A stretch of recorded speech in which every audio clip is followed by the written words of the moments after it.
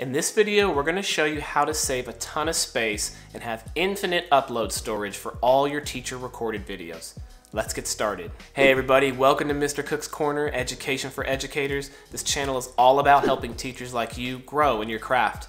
If it's your first time watching, welcome aboard. Please consider subscribing if you enjoy what you see today. Now, like I was talking about earlier, we're in charge of filming a lot of teacher tutorials, videos, all kinds of different uploads with the distance learning that's being required of us nowadays. However, a lot of us are dropping them into Google Drive, and it's taken up a ton of space. Most of us only have a 15 gigabyte max, and although it will take a little bit of time to get there, you are going to run out sooner or later. So, insert YouTube. With a YouTube account, it's something that you can easily create and you have unlimited storage with it. So I wanna show you today really quickly just how to do that. So the first thing you need is a finished video, and depending on what you're doing, that could come from a number of places. Most teachers are gonna be on their computer screen recording things for students, so you're gonna need something like Screencastify or Loom. And if you're wondering which one you should choose, I got a video for you right up here. However, you may just be recording yourself talking, and in that case, you could just use your cell phone. Regardless, YouTube is open to tons of different formats, and the way you're recording is more than likely acceptable. So let's go ahead and get that video ready first. So the next thing that you're gonna need is a YouTube account. Most of you already have this, but if not, you can use your school address. Now some schools actually put that on lock, and if so, that's okay. All you're gonna need to do is just create a Gmail account. I'd make one that's identifiable and easy to use because it is gonna be seen by your students, but it is also free and it doesn't take a lot of time. All right, it's time to start uploading. But one thing I want to point out is that if you're doing a cell phone video, you can use the YouTube mobile app to upload in the exact same way that I'm about to show you on the desktop. All right, so in order to upload, all we have to really do is drag and drop. Let me show you how it works. Okay, this is a fairly simple process and it's pretty quick too. In the top right corner, all you want to look for is the little camera button that says create. You're going to click it and you're going to click upload video. If it's your first time to create a video, it's going to ask you to get started. You click get started and choose use your name.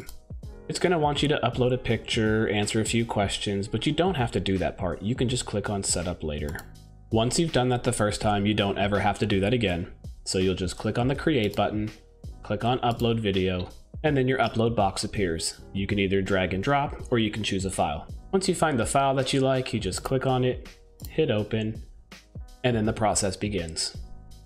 Okay, so while the video is uploading, and depending on how long the video is, it may take a little bit of time, we're going to take a look at some settings that you need to make sure are in place in order for you to protect your privacy. Whenever you upload a video, this is the screen that you're going to see. You do need to give it a title, but you don't have to give it a description. That's completely up to you. You'll then choose a thumbnail and a playlist if you want to, but one thing you have to do, it's required, is to choose whether it's made for kids. It's because of the COPPA Act, it's for children's privacy. As long as students are going to watch it, you have to click yes. That doesn't mean anything bad, it just says that kids are going to be watching your video. Once you do that, you'll hit next. Here's where you can add some elements, and this is mainly for people who do YouTube content like myself. You're not going to use this as a teacher, so you can always just hit next. Here's the important part, the visibility. You've got three options here. Private means that only you can see the video or someone else you specifically share it with. Public means anybody can find your video. It's not just watch it. Anybody can search and find your videos. I do not recommend you choosing that.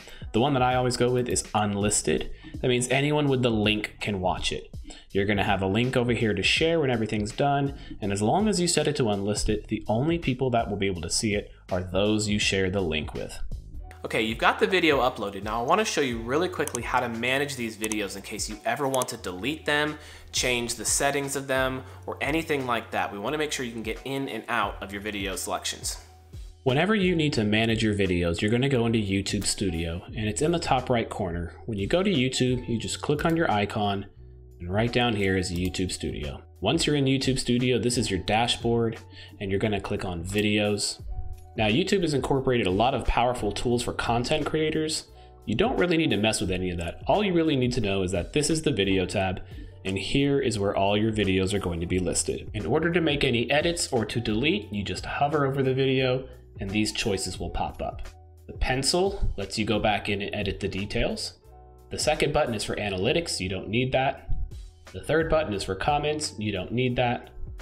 The fourth button is to see the video on YouTube, and this last button over here, the three dots, gives you some options, including getting the link to share, downloading it again if you need to, and deleting it forever. So to permanently delete a video, there's two ways to do it. You either click the checkbox and then go to more actions and hit delete forever, or you go to the three dots and click delete forever. They make you click, I understand that deleting is permanent, because once you delete it, it doesn't go to a recycling bin where you could retrieve it later. It's gone. So if you're going to delete it, make sure that you mean it. Okay, quick bonus tip. You know how when you come across some of my videos and you haven't actually seen it, but it's got a cool little picture in front, kind of like this? Yeah, that's called a thumbnail. And what you can do is you can set yourself up with a custom thumbnail instead of having it just be a random picture of your face kind of going, or whatever it is that you're recording at the time. Let's get you set up with that super quick. So the two quickest way to do this is either with PowerPoint or Google Slides or something awesome like Canva. If you need to learn how to use Canva, I've got a video link up top. Check that out right now. But to show the super abbreviated version, you just create a design, choose a thumbnail. From here, you use all the awesome Canva tools to design your picture. Then you just download it, and from here, you'll insert it into your YouTube video. If you don't want to use an awesome free tool like Canva, and honestly, I'd question you as to why that is, you can always go to Google Slides or PowerPoint, open up a new project, decorate it however you want, and then just go to File, Download, and either choose JPEG or PNG. It does the exact same thing as Canva, but without all the awesome options. Once you have your picture ready to go, you're going to go back to YouTube and open your YouTube Studio.